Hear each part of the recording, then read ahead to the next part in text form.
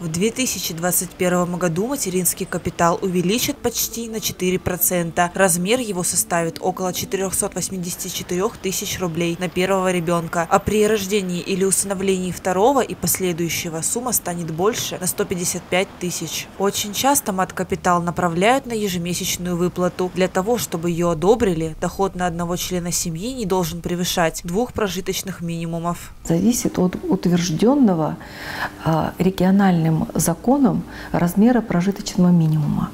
Для семьи, которая имеет право на материнский капитал, да, она может расходовать а, средства от капитала на свои а, повседневные нужды.